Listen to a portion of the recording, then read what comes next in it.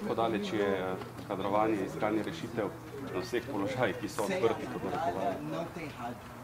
Uh, ja, uh, dogaja se na polno. Um, tako pa v, v vseh stvareh, lahko je blizu, lahko je daleč, uh, lahko še kaj, marsikaj se smo vedeli. To je pa čisto nehvaležen čas, kjer pač slovensko prostor zelo hitro začneš.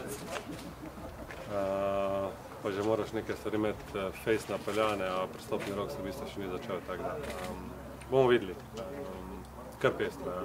Tako, da bi najprej registriran komalo že v teh dneh, kaj pa z ostalimi, o katerih poslušamo, se govori, kako je z Jeleničem recimo konkretno? Uh, Jelenič ni bil uh, v resnih pogovorih, je bila ideja, ampak zaenkrat uh, tu ni prišel kam, kam dlje. Um, bomo videli, vse dogaja na, na, na polno, ne samo s prihodi, z odhodi, z vsem. Tako da res pa nekih velikih premikov pa sigurno si ne želimo. Bomo pa stali reagirali na zadeve, ki pač so meni. Imate kakšen rok, kako se skupaj izpeljati?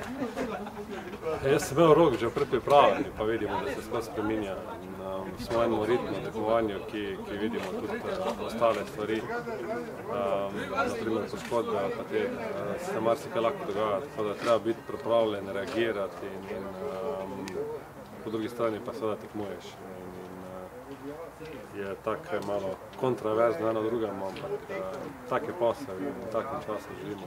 S tem se treba soočati in biti pripravljen na vse. Kako bi se sami, če, če bi bili spet zdaj vlogi igralca, lotili te tekme um, v Moldaviji na takem gostovanju kot branilec proti takšni ekipi, kot smo videli v Istem vrhu? Enako kot se je Maribor vedno, vedno pripravil.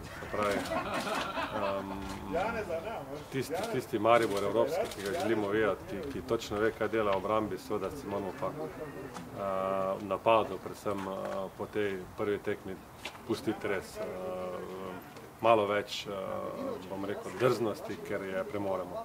Um, ko smo malo predspoštljivo uh, šli v to, ta prvi počas, to tekmo doma in, in tu jaz vidim eno veliko razliko, ker ne, ko gledaš njih, jaz mislim, da je to to, to, je to kar, kar lahko pričakuješ in kar lahko oni dajo. Mi pa gledamo prvo deklo, se zdaj lahko pokažemo dosti, dosti, dosti več.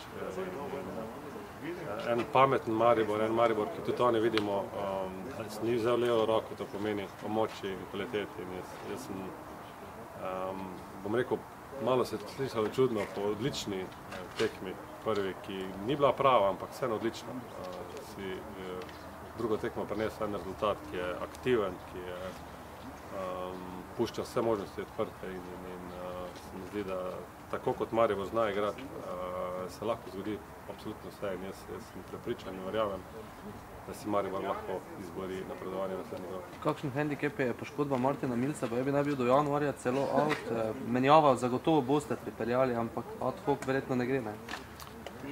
Ja, um, je, absolutno. Maj Milec, vemo, vemo, kako je igral zadnjo sezono, kakšna je njegova vloga ekipi in je sigurno uh, se bo poznal. Um, za naprej pa stvari se, pravim, bomo videli. Uh, se, urejajo, bomo videli še po dodatnih pregledih, kako hudo je, pa koliko časa bo odsoten. Um, je pa treba reagirati, to, to, to je dejstvo.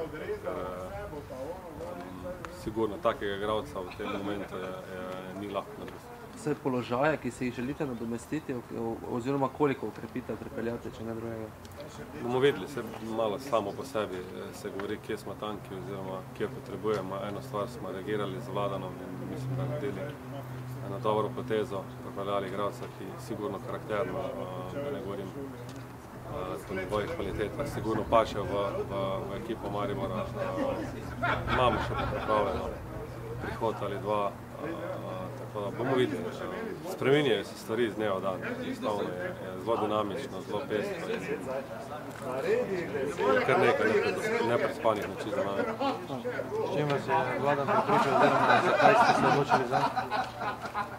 Uh, um, igralec, ki, ki um, sigurno pade v oči, veznik, ki, ki ima to višino, uh, kljub temu deluje tako, bom rekel, elegantno na žogi, uh, razumevanje igranja, poleg tega igral redno, za moje pojme, v močni, močni srpski ligi uh, uh, in eno veliko željo, um, da naredi ta korak naprej in, in brez, brez razmišljanja sprejel stvari in, in se mi zdi, da absolutno rabimo, rabimo po drugi strani tudi višino.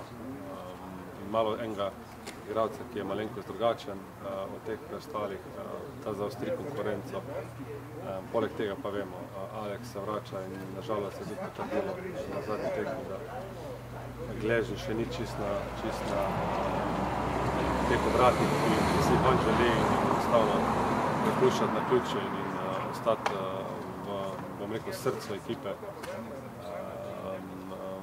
Na tako majhnem izboru je pa sigurno bilo prerizično in pre, pre, bi, bi, bi Maribor gledal preneresno.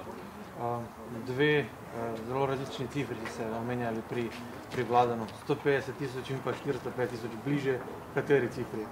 Mislim, da me jasno, koliko Maribor plačuje za očkodnine in, in, in, in katera cifra je prava. Je, mislim, da je zelo, zelo jasno. Mogoče to zdaj v Makambu 2 milijona, je zaradi tega kaj težje se pogovarjati z, z klubi, uh, ki nekako zdaj mogoče mislijo, da imate malo več denarja, kot je to točno cifra, je bil prodan To je vedno tako. Um, mi ostajamo realni, vemo, vemo kaj lahko, kje, kje, kje kaj želimo in, in um, kakšne so smernice. Te stvari, vsaj pri nas, pa tudi pri meni, um, ne spreminja nekaj, da bi uh, zaplavali v nerealne vode. Um, vemo, vemo, kakšni časi so, kaj nas čaka in tu ostajamo realni. Je pa res, da se pogovori včasih začnejo uh, malenko steže, ampak se pravi, na koncu, če si strojen, se da marš se kaj zgoditi. Tista naravna rešitev na mesto Milca bi bil uh, verjetno Mirko Mutovčič, ki pa proti Radomljam uh, ni odigral dobre tekme, zdaj ga ni bilo niti, niti v, v kadru za tekmo. Um, kaj se dogaja z njim, po vašem mnenju, kaj se dogaja z Roko Maherjem, ki je nekako podobno vsoto doživel kot Mirko? Uh, jaz, jaz sem že kar nekaj časa v bistvu tudi javno govoril, da, da enostavno na mlade je treba dati uh, pozornost. Uh, tudi z njimi se veliko, veliko ukvarjamo, ampak dejstvo pa je, da uh, zelo malo fantov razume, kako hitro in kako je v bistvu v Evropi, ker Maribor za moje pojme tukaj res odstopa in, in uh, se drži neki smernici v resnem nogometu. Eh, moraš čakati vse svoje priložnosti, ko pridejo, moraš izkoristiti. Eh, dejstvo je, da mladi fanti absolutno eh, potrebujejo več časa in, in je pa tu dost v zadnjih časov veliko nepotrpežljivosti in fantje morajo razumeti, da, da, da treba biti pripravljen in enostavno na tem nivoju, tem tekmovanju in to, kar Maribor želi, nekih velikih napak, se enostavno ne smeš privoščiti. Imajo, imajo vso podporo kluba, seveda potem pa vedno, vedno je na njih. Um, podporo bojo imeli še, še vedno naprej, vemo, vemo časa Maribor živi in, in kakšni časi so, ampak um, nedokončnost pa tudi, tudi, tudi res stvari ne grejo. In, in, uh, to je nogomet, to je resnost nogometa, to je, to je ta Maribor, kjer, kjer je mogoče lestvica in to sito, kdo gre skozi, uh, malo visoko in, in um, ni lahko. Bonjen žog litro odigral zadnjo tekmo za Maribor? Eh, bomo videli. Eh, do zdaj prestop ni potrjen, niti ni uraden, tako da eh, jutri je tekmo, potem pa se bomo pogovarjali naprej. Koliko vas veseli, da ste v teh časih vseeno težkih, po koronskih, rečemo temu, prodali Makamboja za takšno ceno, da se tudi okrog žugla govori, da naj bi prišel milijon, se pravi, da se dejansko Maribor spet začel prodajati po milijonskih očkodninah.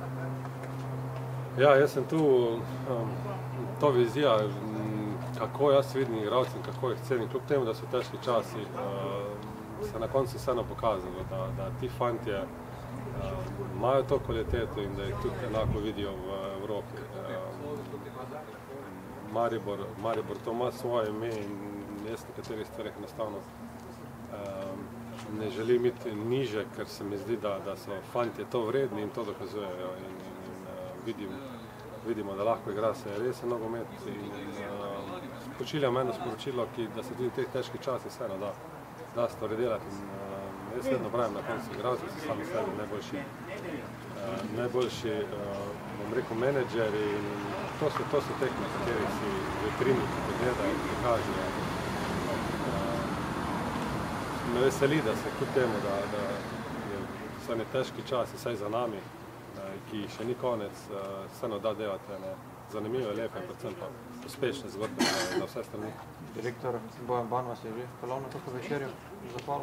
Mm, To je moje delo. Uh, to, to je zato sem tu in, in uh, to so stvari, ki morajo biti samo moje, vse meni so. Če se navežem, kakva je to potrditev za vas osebno, za vaše delo doslej?